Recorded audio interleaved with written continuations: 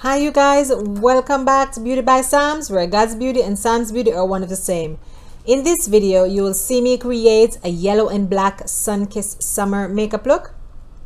So if you'd like to see how I got this look, well sit back, relax, grab a drink, and let's get into the video.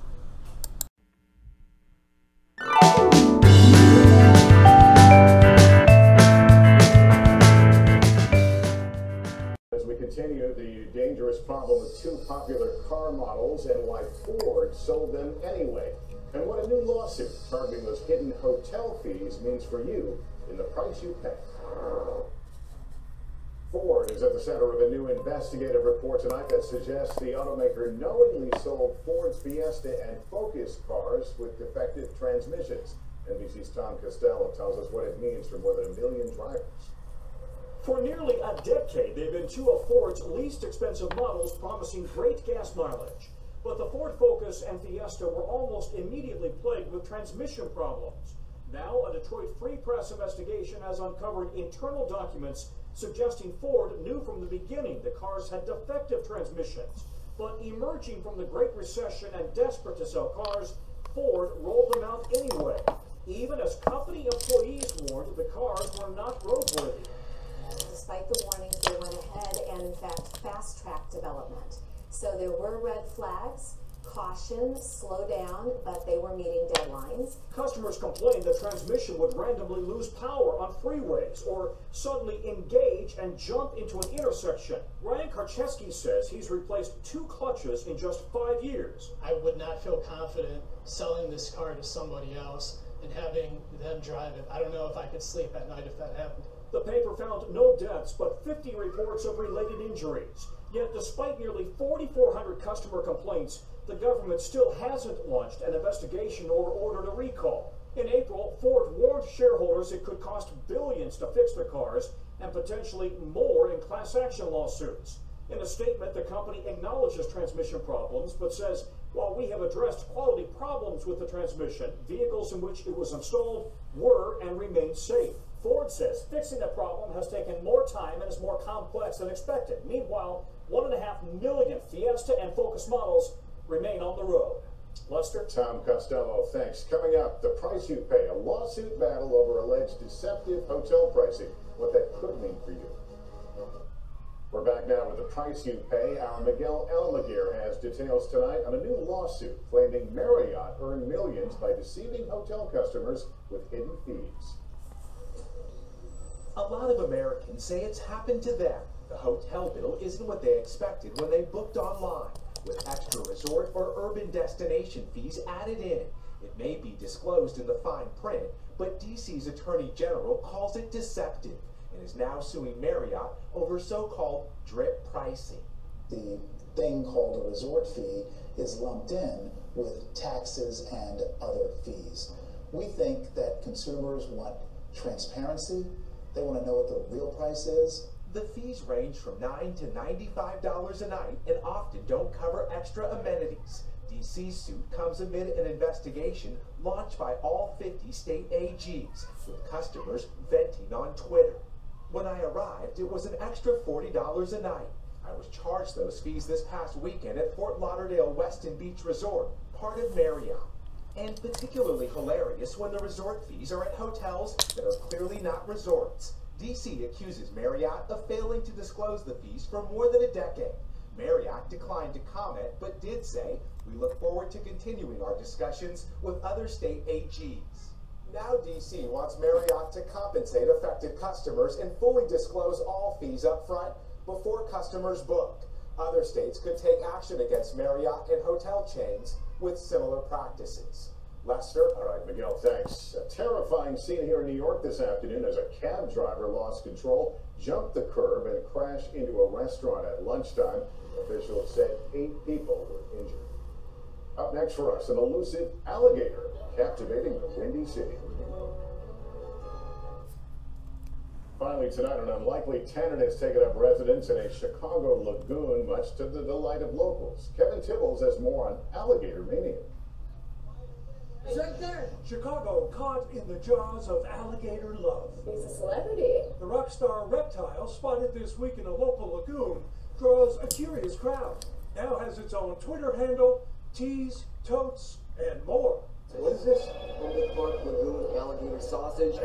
It's even singing Chicago's song.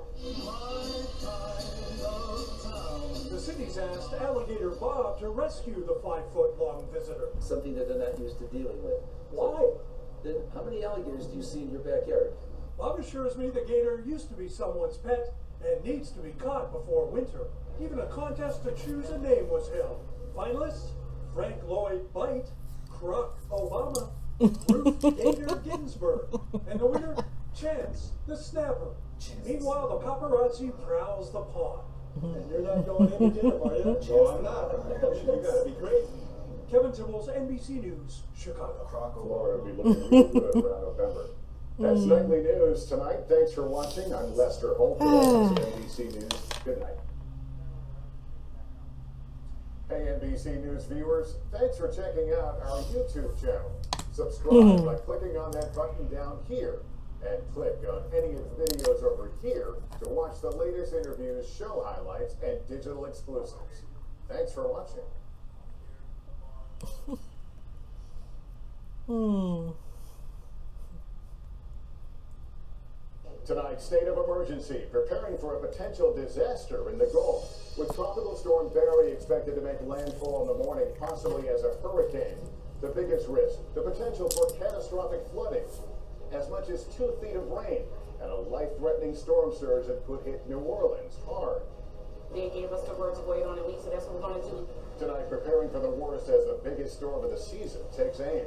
President Trump's labor secretary is out. Alex Acosta resigns over his role as a federal prosecutor in a sex trafficking case against Jeffrey Epstein.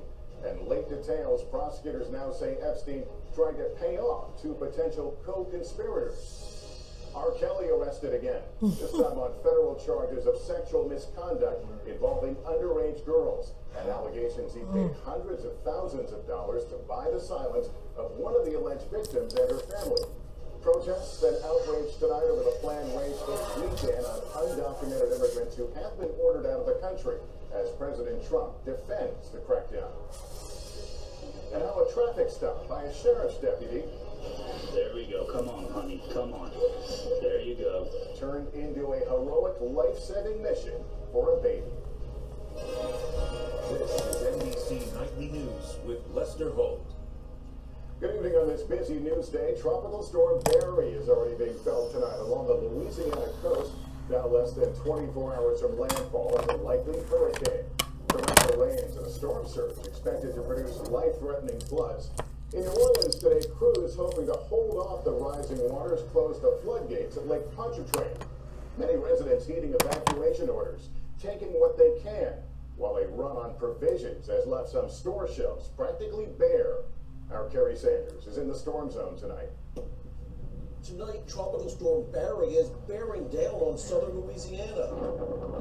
Portions of Grand Isle underwater as time has run out to prepare. Nobody should take this storm lightly just because it's supposed to be a category one when it makes landfall. Tens of thousands of tourists and convention goers in New Orleans packing up and getting out. They gave us the word to wait on a week, so that's what we're gonna do, week in advance of the storm to make sure that we get back to our families safely. 3,000 members of the Louisiana National Guard are on alert, bringing boats and high water vehicles. The biggest worry, not wind, but water, which is already rising. While storm surge can batter a coastline, this is what storm surge looks like. It's a fast moving, fast rising flash flood with the power of the Atlantic Ocean behind it. In the Crescent City, named because the Mississippi River makes that hard turn, there's another danger. That up to 70 mile per hour winds could cause a five foot storm surge, pushing so much water up the river it spills over the top of New Orleans levees. Compounding the situation, the Mississippi is eight feet above its usual level. See those submerged trees over there? That's where the riverbank should be. With the slow moving storm now arriving, residents unsure what's next. I've never seen it this high. It's uh, pretty impressive. Tonight, in low lying areas outside of New Orleans, there are expectations of widespread flooding. Meantime, in the city, there is now a shelter in place order. That means that residents should hunker down and stay off streets. Lester, at this point, it's now all about riding it out. Yeah, we can see some of those waves overtopping behind you. Kerry, thank you. Let's get a read on where this storm is. Let's bring in Al Roker. Al, what are we looking at? Lester, right now Barry's making its way toward the Louisiana coast, currently about 70 miles south-southeast of Morgan City, Louisiana. It's got winds of 65 miles per hour. It's moving west-northwest at 6 miles per hour. Landfall sometime early Saturday morning and then makes its way up into the Mississippi River Valley. We are worried about two things. First of all, storm surge, anywhere from 2 to 6 feet, and that will cause a lot of flooding. And then add on top of that, tons of rain. We are talking about a high risk of flooding through the lower Mississippi River Valley. Rainfall amounts could top out at over 25 inches of rain, but generally 10 to 15 inches of rain. Either way, Lester, it will be really devastating flooding with this. All right, Al, thanks. Now our other big story breaking today, the resignation of President Trump's labor secretary. Alex Acosta faced harsh criticism this week for his role in that plea deal in Florida in a sex abuse case against Jeffrey Epstein 11 years ago. Our Peter Alexander has that story. President Trump and Alex Acosta today walking out of the White House together before that surprise announcement. Acosta was resigning. I just want to let you know this was him, not me, because I'm with him. He was a he's a tremendous talent. Acosta's sudden departure comes less than 48 hours after the Labor Secretary defended his role as a U.S. attorney in that controversial plea agreement with financier Jeffrey Epstein more than a decade ago, where Epstein spent 13 months behind bars for soliciting prostitution from a minor. The goal here was straightforward. Put Epstein behind bars. Acosta today.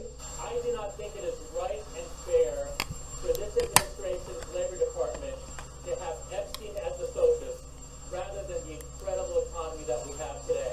President Trump also revealing new details about his falling out with Epstein, who he says he has not spoken to in 15 years.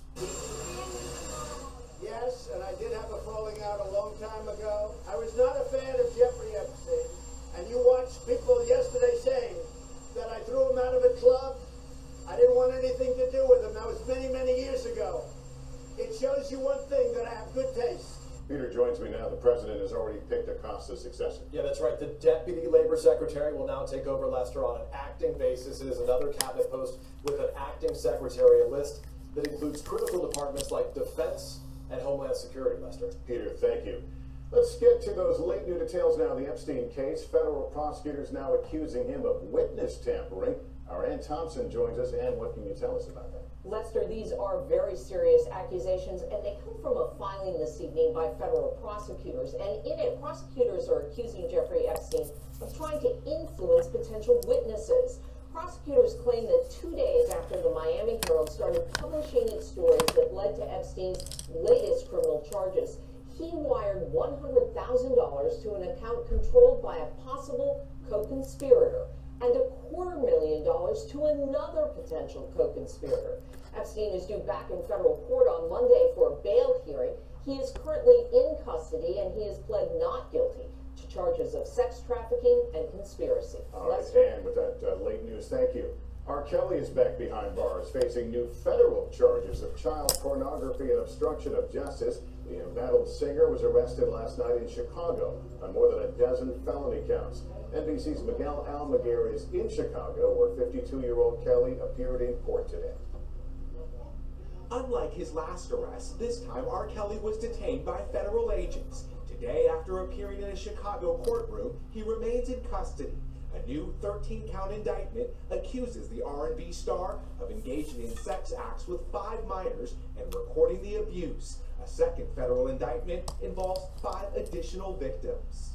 We're talking about forced labor, child exploitation, the production of child pornography. With two of his associates also charged, Kelly is accused of using his entourage and star power to recruit girls to engage in illegal sexual activity. At At the height of his career, Mm, mm, mm. prosecutors say Kelly would not allow his victims to leave their rooms to eat or visit the bathroom without receiving his permission. Mm. Investigators credit the docu-series Surviving R. Kelly with helping build their case. It really put a spotlight on the magnitude of his acts. Prosecutors also allege Kelly paid off a minor and her father at the center of his 2008 child pornography trial in which he was acquitted. Kelly denies all charges. I didn't do this stuff. This is not me. I, I'm fighting for my life. We believe he's innocent. We're going to fight to prove he's innocent. But tonight, Kelly remains in custody and behind bars. Hmm. Not far from this courthouse in Chicago, Kelly was arrested overnight while walking his dog. He did not enter a plea today. He's expected back in court next week. Lester. Miguel Almaguer in Chicago, thank you. Protests around the country today ahead of this weekend's planned crackdown on thousands of undocumented immigrants who have been ordered out of the U.S. And the president defended the raids today. Let's get more from NBC's Steve Patterson. Tonight, cries of resistance on the eve of highly publicized ICE raids targeting 2,000 undocumented immigrants in 10 major cities. The operation is only aimed at immigrants who are under court orders to leave the country. People come into our country illegally, we're taking them out legally. It's very simple. It's not something I like doing, but people have come into our country illegally. We're focused on criminals. But many fear that the raids will include other family members at the scene. To my family, this means fear. It stops us from wanting to go to work. It stops us from wanting to um, contribute to society. Widespread deportation efforts aren't unique to the Trump administration. According to ICE, more than 400,000 people were deported in 2012 under the Obama administration, significantly more than the 256,000 people under President Trump's White House last year. The difference, analysts say, President Trump has politicized it. It creates a lot of fear in immigrant communities. Uh, I don't think that fear is helpful from ICE's public safety mission. Prominent Democrats warning immigrants of their rights. Congresswoman Alexandria Ocasio Cortez tweeting, No one can enter your home without a judicial warrant. A preemptive fight on the eve of a weekend stirring so much fear. Steve Patterson, NBC News. The House voted today to reauthorize funding for victims of the 9-11 attacks after powerful testimony from first responders. NYPD Detective Luis Alvarez, who battled cancer that he blamed on his work at Ground Zero, pleaded with Congress during emotional testimony in June. He died shortly after. If passed by the Senate, funding would extend until the year 2090. Breaking news tonight in Indiana, where firefighters battled multiple house fires in a neighborhood of West Lafayette. Officials say five houses were destroyed and four others were damaged. The cause not clear at this moment. One firefighter suffered heat exhaustion. Now that incredible video, a member of the U.S. Coast Guard riding a drug smuggler submarine in the Pacific Ocean. The narco submariner finally surrendered, but most of the subs actually get through the U.S. dragnet. Here's NBC's Tom Costello. High drama on the high seas. The Coast Guard ship Munro intercepting a fully loaded drug smuggler's sub off South America, screaming at the smugglers to stop their boat. Then a brazen display of courage, riding the sub, pounding on the hatch. Finally, five men surrendered. It happened in June, the video just now released. In all, three Coast Guard ships intercepted 14 narco vessels, confiscating 18 tons of cocaine and marijuana. Street value, half a billion dollars. They acquitted themselves with great distinction and courage on the open seas. Built in the jungle, the mini subs skim just below the surface. Only 11% are ever caught. In a never-ending game of cat and mouse with the Coast Guard. Tom Costello, NBC News, Washington. Tonight, a rare look inside China, how that country is using cutting-edge artificial intelligence, not only to try to boost its economy, but also to keep an eye on its own people. Chief Foreign Correspondent Richard Engel shows us how. Tonight, China is sparing no expense to dominate the world of artificial intelligence. Though much of the technology was developed in the United States, President Xi Jinping wants China to be the world's AI leader by 2030. Officials showed us this sprawling port where, thanks to AI, human workers are being replaced. These automatic cranes are dropping off containers onto driverless cars. Yes. Those little blue trucks. Yeah, so This truck, what is the little driver coming? Just the platform. And while Americans encounter AI every day, with companies like Amazon and Netflix using it to rank products based on what we bought and watched, China is now using AI to rank its people. There are an estimated 200 million surveillance cameras in China, and now they not only know where you are, they know who you are. Many of the surveillance cameras feed into an AI system which can not only recognize your face, but bring up your name, your social media activity, financial status, and criminal record. The AI calculates what's called a social credit score. If your score drops too low, you're denied access to airports and trains. The Chinese government is using artificial intelligence, and in particular the rapid and substantial and impressive advances they've made in facial recognition as a way to monitor people. Chinese authorities are using AI-powered facial recognition to help pick out an ethnic group of Muslims known as Uyghurs, and have sent upwards of a million Uyghurs to controversial re-education camps. This week, 22 nations urged China to stop what they call arbitrary detentions. China says it's part of a war on terror. They've used AI to create coming. state Yeah, fine. China is investing in a technology it believes will drive the global economy for decades to come, and which allows the Communist Party to monitor its population on a scale never before seen in human history. And Richard, you know, the focus here, of course, has been on the trade war with China, but I understand they're taking a broader, deeper view. Yeah, of course, the trade war is important, has economic implications, but it's short term. In China, time and time again, we were told that there is a national mission now to overtake the United States, and the AI piece is just, just part of it. Richard Engel. Richard, thanks. And we want to let folks, you can watch more of Richard's reporting on assignment made in China. Airs this Sunday at 10 p.m. Eastern on MSNBC. Still ahead here for us tonight, suspects questioned another new lead to the shocking death of an American scientist on a Greek island. Also, how a traffic stop for speeding ended up saving the life of this baby,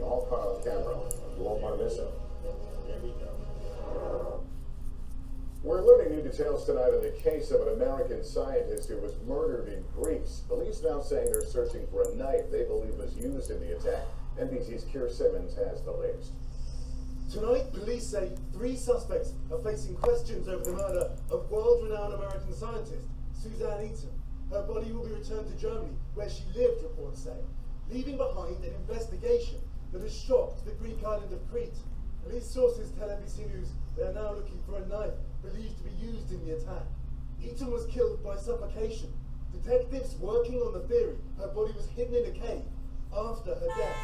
The secluded cave, a former World War II bunker, only locals would know.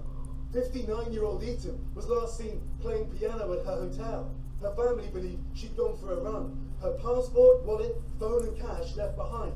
Only her running shoes missing. Her husband and two children had flown to Crete to help identify Suzanne. In a statement this week, her son Max calling her a remarkable woman and a brilliant scientist. Tonight, police tell NBC News samples from under her fingernails will be DNA tested. It may be their best lead. That's that. All right, Keir Simmons, thanks. And coming up, how a traffic stop for speeding turned into an incredible life-saving moment.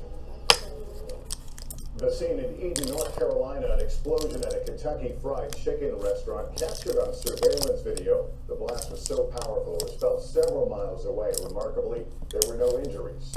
No word right now on cause. A potential speeding ticket turned into a race to save a baby's life in South Carolina.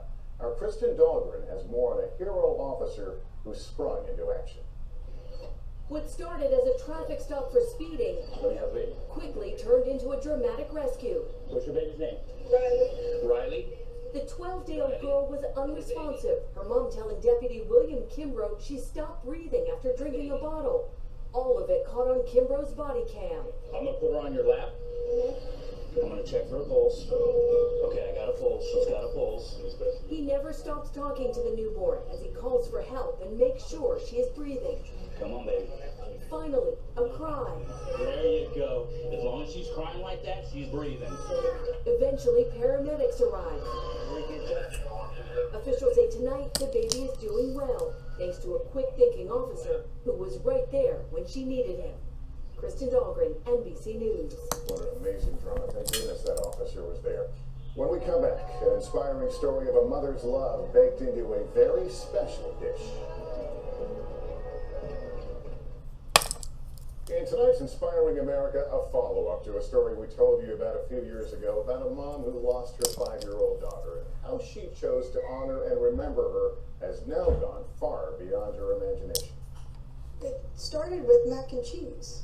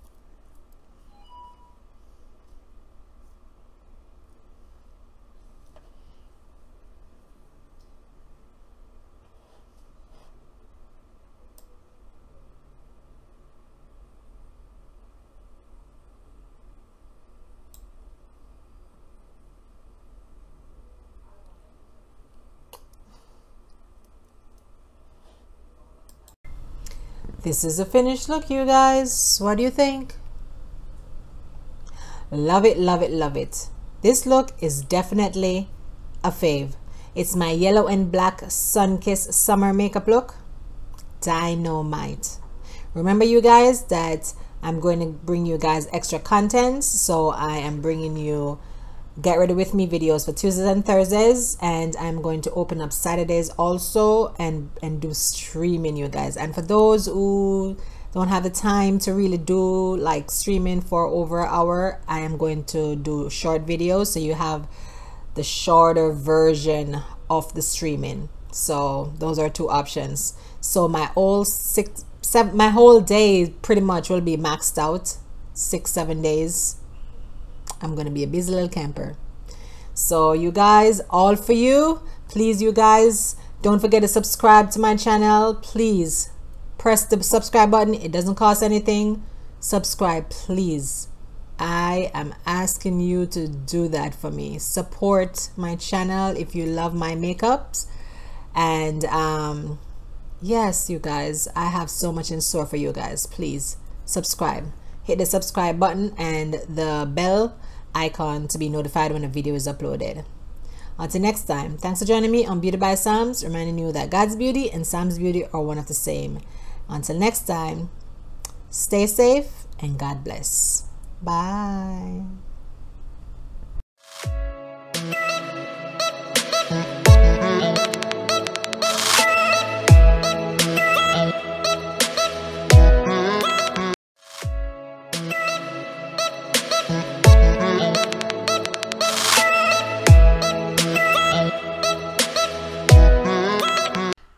And now it's time for Psalms Bible Quote of the Day, taken from Psalms 128, verses 1 and 2.